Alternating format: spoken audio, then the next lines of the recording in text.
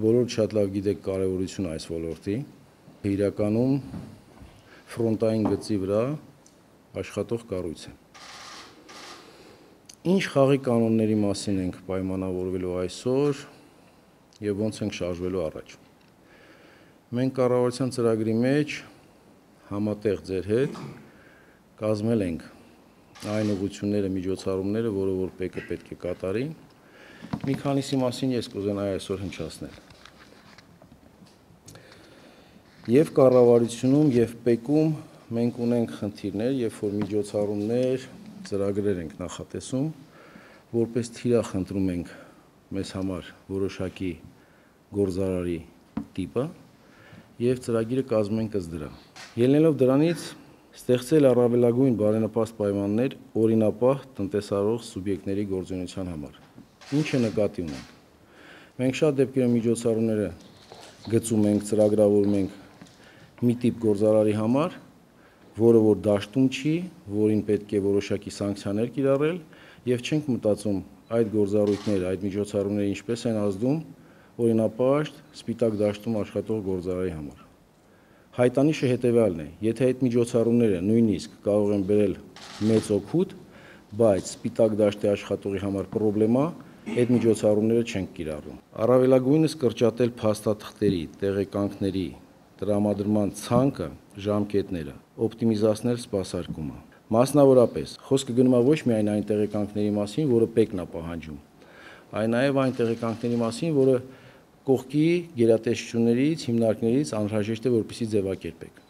Դուք շատ լավ տիրապետում եք իրավիճակը եւ գիտեք, որտեղ դեպքերում է թուղթը ավելորդ։ Հա, օրինակ սննդի տեսչություն, դեղորայքի ներկրման ոլորտում պետքա հստակ ձևակերպել խաղի կանոնները, որ այս երկրի սերտիֆիկատը մեզ համար ընդունելի է։ Լրացուցիչ սերտիֆիկատ չուզենք, պայմանական եմ ասում։ Խաղի կանոնները մաքսիմալ པարզ ձևակերպված պետք է լինեն քաշքշուկը մինիմումի հասցված, տեղեկանքների քանակը մինիմումի, ոչ միայն այն տեղեկանքները, որոնք որ մենք ենք պահանջում ՊԵԿ-ը։ Այդ ոլորտում կարծում եմ դուք շատ անելիք ունեք։ Նաև պետք է մաքսիմալ ձևակերպել եւ հանրությանը հայտնի լինի, կարծում եմ այդ դաշտը կատարվում է այդ աշխատանքները, բայց համենայն դեպս վերանայել ժամկետները սպասարկման։ Ինչքան ժամկետում որ գործառույթը մենք ապահովելու ենք գործարարի, չգիտեմ, իրավաբանական անձի, ֆիզիկական անձի։ Շատ է խոսվում հսկիչ գների մասին։ Առաջարկում եմ ձեզ, ճիշտ է, այդ դաշտում բավական աշխատանք է կատարված, բայց առաջարկում եմ ձեզ հետևյալ մեխանիզմը փորձեր կիրառել։ Սահմանել հստակ այն երկրները, որոնց նկատմամբ մենք արժանահավատություն ունենք եւ ընդունել ինվոյսի գինը, եթե իրենք ներկայացնում են արտահաման փաստաթուղթ այդ երկրի։ Խոսքը գնում է այն երկրների մասին, որտեղ որ ավելացված արժեքի հարկի վերադարձ կա։ Մի հատ նայեք այդ դաշտը։ Եթե մենք դրանով կանոնակարգում ենք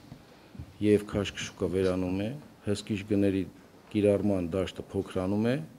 բիզնեսը հասկանում է խաղի կանոնները, կարծում եմ, որ ստեղ կունենանք արդյունք։